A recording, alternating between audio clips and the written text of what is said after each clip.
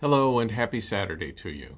On Thursday, March the 12th, the Parish Life Ministry, upon advice from church member and Professor Linda Morrison of the Immunology Department at St. Louis University, decided to suspend at First Church worship for the next three weeks. It's our sincere hope that we will be able to meet again in the sanctuary on Palm Sunday, April the 5th. Until then, we are making alternative provisions for our communal spiritual life. At 10 o'clock, I invite you to meet music director Leon Burke, director of Christian Education Tracey Harris, and student minister Merrimon Boyd, and me for a live feed from our Facebook page, and we're hoping our YouTube channel. To get to the Facebook page, log into Facebook and then go to the uh, uh, go to facebook.com slash firstchurchwg. To get to our YouTube channel, well, if you're seeing this, then you've already found it. So just come on back here on Sunday morning.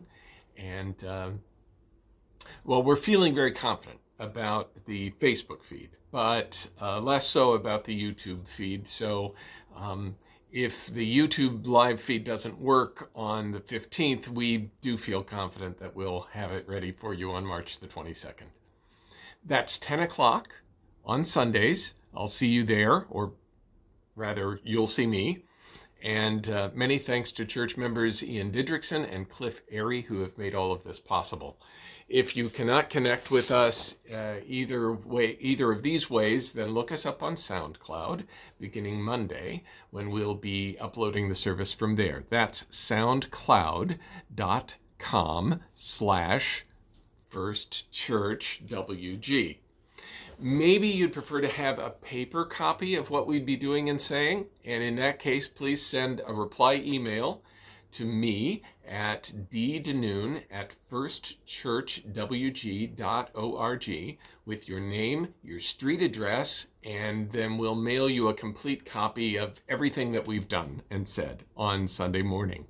For those of you who've been taking part in our Bible study, based on Amy Jill Levine's Entering the Passion of Jesus, a beginner's guide to Holy Week, please join me and Tracey and Merrimon again at 11 o'clock on Sunday, and at that time I will lead an online discussion about chapter 3 of the book, which also will be my subject for the morning message at 10 Money versus Values, some thoughts on Jesus' teaching at the temple.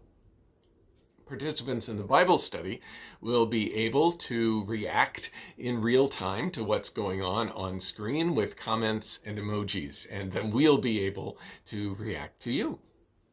That's all tomorrow morning, starting at 10 a.m. on Facebook and YouTube, and then at 11 a.m. on Facebook only. And if you can't join us on, uh, right on time, we'll be recording as we're streaming so you can get worship and Bible study at your convenience later.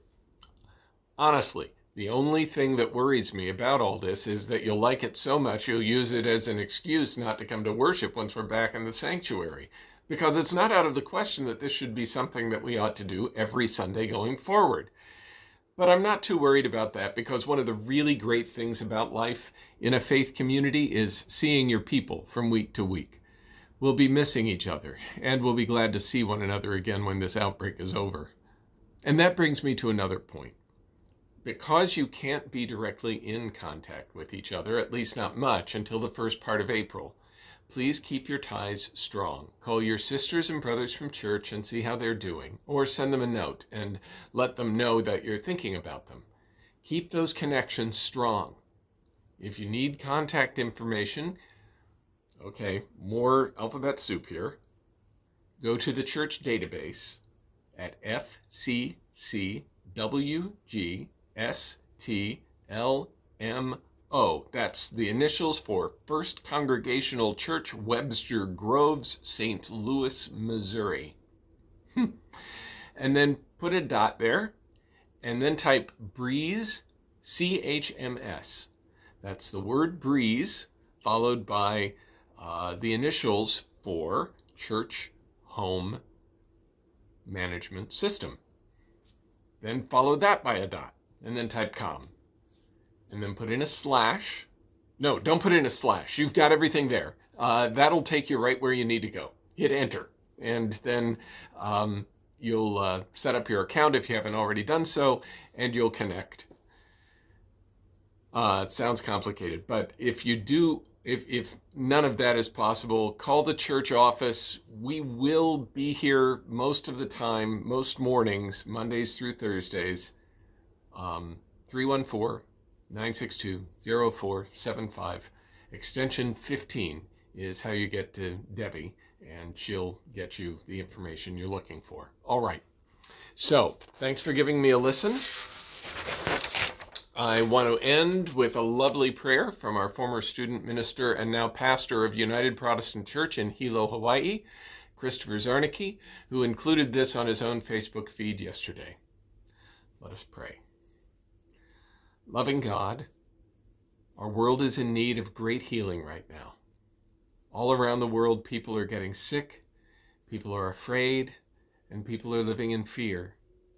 Many of us are unsure what will come next if our family will be affected, and how we will respond if these things happen.